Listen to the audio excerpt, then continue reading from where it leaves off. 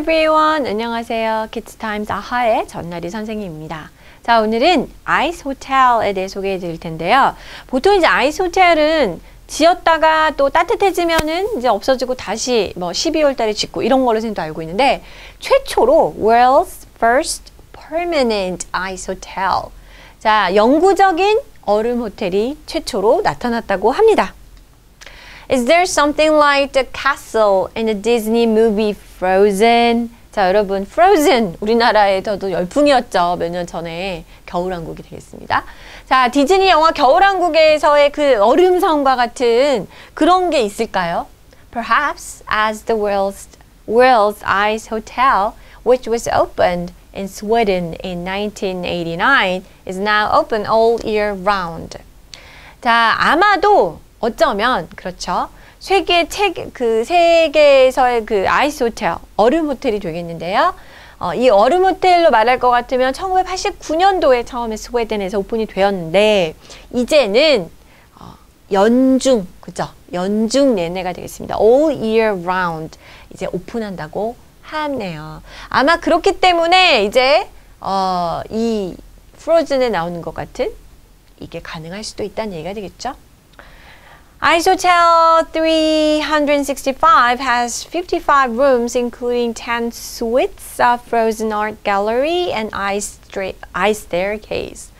자, 365일 동안 오픈한다 그래서 이제 365가 붙었나 봐요. 그래서 아이스 호텔 365로 말할 것 같으면 자, 10개의 스위트룸을 포함해서 55개의 방들을 어, 55실이겠죠. 객실을 가지고 있고 자, 얼음 뭐 아트 갤러리 미술관이 있고요. 또 얼음으로 만든 계단 등을 가지고 있습니다. It is located on the banks of the Torrent River and uses about 30,000 liters of water from the river라고 했네요.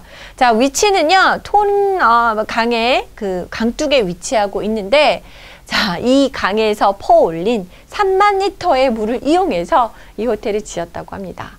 전에는요, 보통 이제 December 이렇게 지어서 from January to March 1월에서 3월까지 개장을 하고 그 다음에 다시 닫고 이런 걸로 선생님도 알고 있었거든요. 근데 이제는 all year round 이 물을 이용해서 그렇게 됐다고 하는데 한번 네, 가보고 싶으시다면 스웨덴에 가보는 것도 좋겠네요.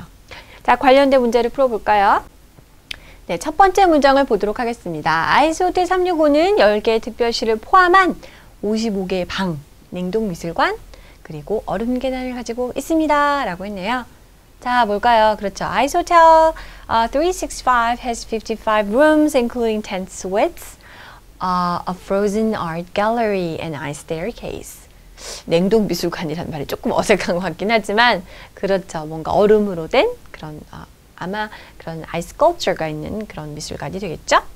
자, B를 보겠습니다. 이것은 톤강 제방에 위치하고 있습니다. 라고죠. 어디에 위치하고 있습니다. 라고 하는 것부터 시작해 보면 자, located, is located 그다음에 on or in or at 이렇게 쓸 수 있겠죠. on the banks of the Torn River 자, 강에는 보통 덜 붙여주시고요. and uses 주어는 still it 그러니까 uses 써야 되겠죠. 자, 3만 리터의 강이 되겠습니다. from that river, right? 자, 그 다음 볼까요? 와, 이거 정말 멋있는 그 갤러리인데요. There are many pictures and painting or paintings hanging in the art gallery. 그렇죠? 미술관에 걸려 있는 많은 그림들이 있습니다. 라는 거고요. 넘버 B를 보니까 A man is standing on the 자, 우리 배웠던 어떤 뚝 제방 이런 거 해당하는 우리가 보통 은행으로 많이 알고 있지만 강둑에라는 표현으로 씁니다. 그래서 bank of the river. 그래서 bank란 단어가 river란 단어 근처에 있으면 은행이란 뜻이 아니고 강둑, 뭐 제방 이렇게 해석을 하면 좋습니다. Okay, this is all for today. I'll see you next time. Bye bye.